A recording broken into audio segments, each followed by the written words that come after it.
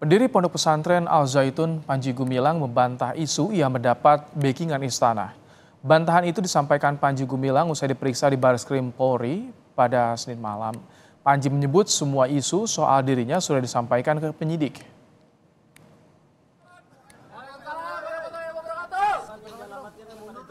Sudah, sudah ini sudah dijawab semua di dalam. Tidak ada Ada nama Hendro Priyono disebut-sebut, ada Sudah, Wiranto jangan disebut-sebut, ada nyebut-nyebut yang Muldoko tidak ada disebut-sebut. hubungan apa-apa.